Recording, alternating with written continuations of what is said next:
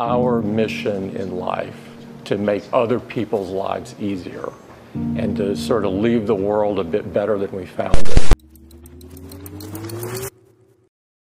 For a tech industry giant deemed largest in the world, Apple has been very quiet in the generative AI space until now.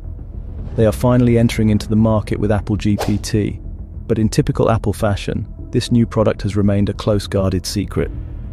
So we'll take a look at what we know so far and what it could mean for the future of AI. Let's jump in.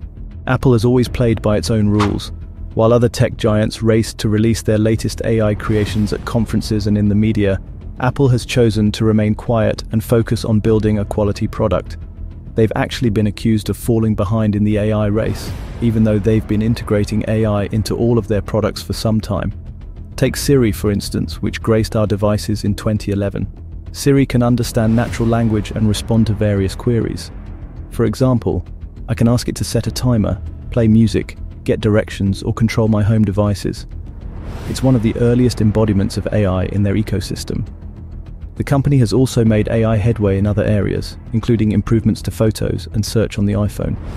More recently, at the Worldwide Developers Conference last June, AI was behind some of their most exciting new features, like the improved iPhone autocorrect, which learns how you text and type, and a smarter AirPods Pro that learns your listening preferences over time. Apple's CEO Tim Cook acknowledges this, saying, We've obviously made enormous progress, integrating AI and machine learning throughout our ecosystem, and we've weaved it into products and features for many years. The company even expanded its artificial intelligence efforts in 2018 with the hiring of John Giannandrea, former Google AI head, to head up the company's machine learning efforts. So why have they all of a sudden gone quiet? Unlike other tech firms that show off their work, document it, go to conferences, publish, and collaborate, Apple doesn't talk about the tech they're working on until they've mastered an outstanding user experience. Tim Cook says the company will continue to add AI technology to more of its products, but on a very thoughtful basis. But what about generative AI? It's all the buzz these days. Is Apple falling behind in that area? Well, it's complicated. Tim Cook himself says the technology has potential, but there are still a number of issues that need to be sorted. The generative AI we have right now raises a lot of security concerns on privacy.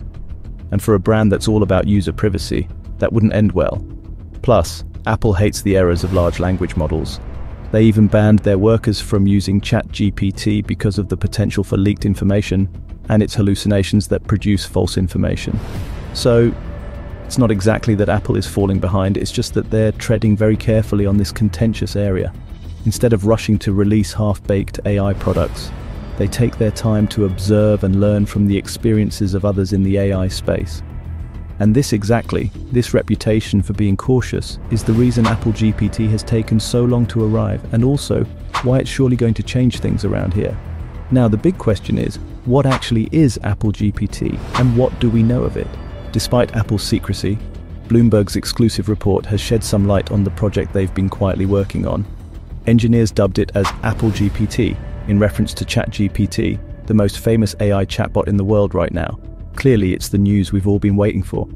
Investors see it as a sign that Apple is taking generative AI seriously, and Apple shares gained as much as 2.3% to a record high of $198.23 after Bloomberg's report. Apparently, behind the scenes, Apple has been growing increasingly concerned about potentially missing a crucial shift in how devices operate. Generative AI has become the new frontier, and Apple has been under pressure to keep up with the rapid advances in AI, as the company's devices generate a staggering revenue of nearly $320 billion in the last fiscal year alone. That's why they began laying the foundation for AI services with the AJAX framework. Apple's AJAX system has already played a significant role in improving Siri, and Lord knows how much Siri needs it. Despite releasing in 2011, Siri is consistently outperformed by competitors like Amazon's Alexa and Microsoft's Cortana, the reason being Apple's strict adherence to privacy standards. While other virtual assistants amass vast amounts of user data to train their AI models, Apple remains steadfast in its commitment to minimize and anonymize data collection. This has indeed resulted in a less data-rich assistant. But as Apple CEO Tim Cook likes to say, We reject the excuse that getting the most out of technology means trading away your right to privacy. Now Ajax has become an integral part of Apple's AI initiatives, this time with Apple GPT. Apple GPT is built on top of the Ajax framework and runs on Google Cloud.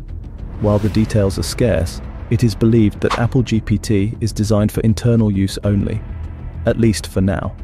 Currently, it is available to some employees in the form of a web application with a stripped-down design. This suggests that the tool is not intended for consumers. Access to the system even requires special approval. The road to Apple GPT has been bumpy, with security concerns causing some delays. However, Apple is determined to ensure that its AI chatbot meets high privacy standards. This is especially important given the potential for data leaks associated with generative AI in third-party services. Despite these challenges, Apple GPT has already shown promising results within the company. Employees have been using the chatbot to assist with internal operations, such as product prototyping, summarizing text, and answering questions based on data it has been trained with. According to them, the company's tool essentially replicates Bard, ChatGPT, and Bing AI, and doesn't include any novel features or groundbreaking technology. Nevertheless, Apple is actively working to improve its underlying models and is looking at ways to expand the use of generative AI within its organization. One possibility is to give the tool to AppleCare support staff, who could use it to assist customers and enhance support services.